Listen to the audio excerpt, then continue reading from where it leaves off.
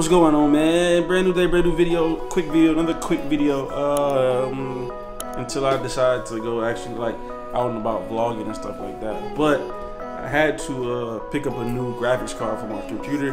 Now, which I've been dreading to doing. I've been dreading to do this for a very long time, just because graphics cards are way overpriced, man. Uh, yeah, that's all I'm gonna say. So I end up getting the um, Asus.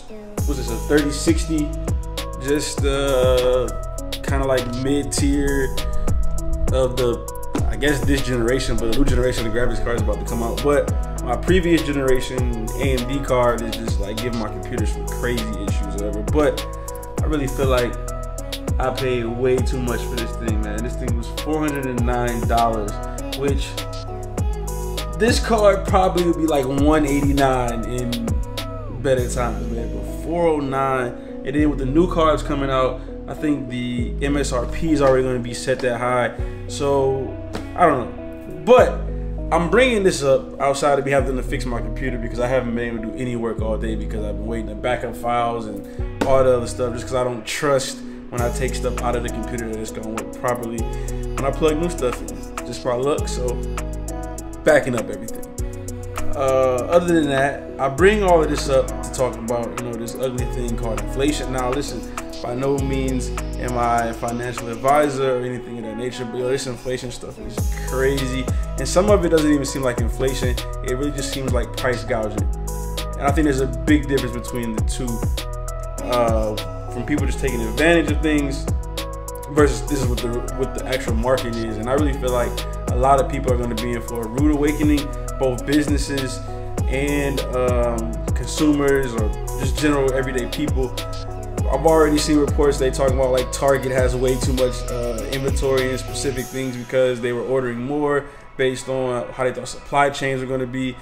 So yeah, I really feel like the system is out of whack and a huge correction is going to come along. But like I said, I'm not financial a financial advisor by no means and I'm just kind of sitting still with all my money to uh, wait for whatever this correction in the market is. Now, if it corrects and things drastically drop, then yes, you benefit. Now, if things correct and they stay more where they're at, then cool, whatever. I've already been living within that system, but I'm gonna say it.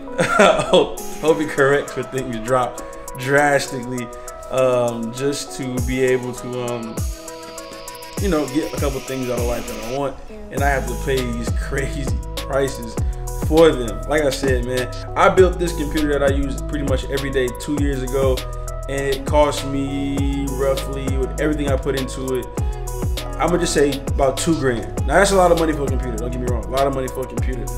But at the time, I was able to get top of the line everything pretty much for that computer. If we do that same build today, present day, I'm probably looking at 35 to four grand. So almost double what I paid because everything has risen in price. Something crazy, especially graphics cards. Like, I think I only paid like 180, maybe 210 for that graphics card in my other computer. I just paid double that price for this. And that one is technically, is better than this one it's just that it's giving me problems, so I had to go upgrade. But to replace the one that's in the computer currently would cost me roughly a thousand dollars right now. Listen, I'm not about to spend a thousand dollars on a graphics card um, because I know this will work for what I needed to do. But I don't know, man. I'm, I'm just paying attention to how everything is moving, and none of it makes sense. Um, way more traffic outside, and we look at people's cars. They're just dressed, just dressed not with no type of purpose. Now I'm not saying that you should pull up and see people in suits and all that stuff, but I just remember a time if you went out at lunchtime, more than likely you were going to see people in work attire. Now I just see people in cars all day, just in cars all day. I don't know what people are doing. I don't know what people are working.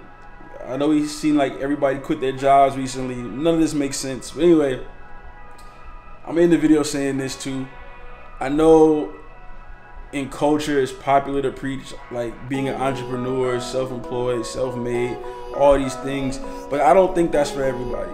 Um, there are even times when I look at myself and say, "Am I 100% ready or prepared for that. Now I've been doing this since I graduated college, which was almost was that 12, 13, almost 13 years ago when I graduated college. So um I guess 12 years, 12 years. I don't know. I'm I don't know. Whatever. 12, 13. I'm, I don't know why I'm hung up, hung up on that, but I'm just saying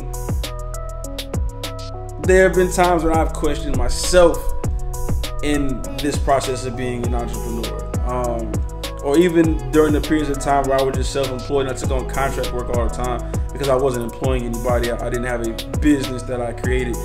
Um, but now that I have a business that I created, it's a whole separate thing, a whole separate conversation between being self-employed and an entrepreneur. But I don't feel like diving into that. There are way more self-employed people calling themselves entrepreneurs than entrepreneurs calling themselves self-employed but that's another conversation for another day. And maybe I'll have some some people who are very, very, very informed in that world come talk on one of my videos one day. But until then, like I said, I don't think that lifestyle is for everybody. So listen, be real with yourself, be honest with yourself, and sit back and say, yo, can I really afford the hardships that may come along with being self-employed or an entrepreneur? Now, I'm not saying hardships as in not making money, but you have to remember being an entrepreneur and self-employed person that every dollar that comes in is not yours. One, you have to set money aside for taxes. Two, you have to set money aside for operating expenses. And I don't mean your rent and things that nature. Well, I mean your rent can be part of it because if that's where you do your business, then so then so be it. But a lot of things you're not factoring in that you got to take care of as, a, as an entrepreneur, self-employed person.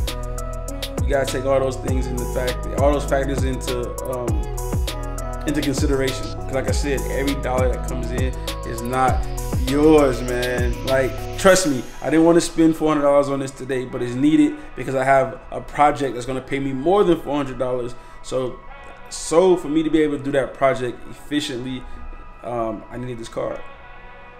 But I have money set aside within my business both personal things and things of this nature, operating expenses and just the random stuff that happen from time to time. So, y'all know the rules, man. Be safe, be smart, be kind, because you never know how far that'll get you. And sorry for these rant videos in the last couple videos, but I haven't really been leaving the house because I'm trying to get this, this big project done. And once this project is done, then we'll be back outside having fun. And I think finally I'll have date night with, with Kiera this week. Um, she been working a lot too, um, and I'm happy for that because you know she need to get her money just as much as I need to get my money, so we can be in each other's pockets and not just one person. In the, you know, you know what I'm about to say. You know what I'm trying to say. But anyway, not to say that it's a problem, but you know what I mean. I'm out of here, man. Peace.